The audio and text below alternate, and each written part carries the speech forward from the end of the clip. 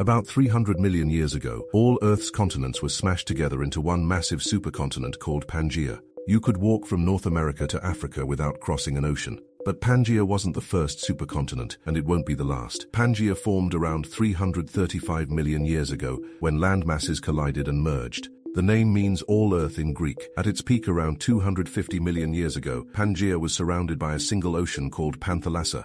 North America was connected to Europe and North Africa, South America attached to Africa, Antarctica, Australia and India joined Southern Africa.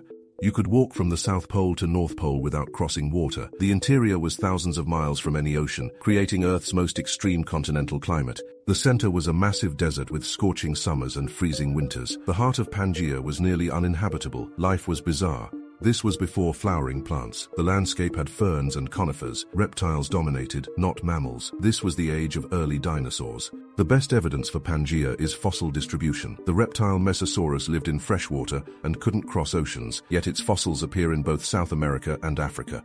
The plant Glossopteris is found in South America, Africa, India, Antarctica, and Australia. These organisms could only spread if continents were connected. The Appalachian Mountains line up perfectly with ranges in Scotland and Norway when you fit continents together. They were once the same mountain chain. Pangaea began breaking apart around 200 million years ago, over tens of millions of years. The first split separated it into Laurasia in the north and Gondwana in the south. As continents separated, the Atlantic Ocean formed in the gap. This continues today. The Atlantic grows about one inch wider yearly as North America and Europe drift apart. The breakup had massive effects. Separated populations evolved differently. Climate patterns changed. Ocean currents shifted. The separation created the biodiversity we see today. Here's the mind-blowing part. Pangaea wasn't Earth's first supercontinent and won't be the last. Earth goes through the supercontinent cycle. Before Pangaea was Rodinia about 1 billion years ago. Scientists predict that in 250 million years, continents will collide again, forming Pangaea Ultima.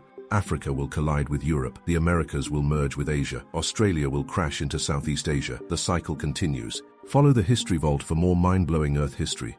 Can you imagine walking from New York to Morocco without crossing water? Let me know in the comments.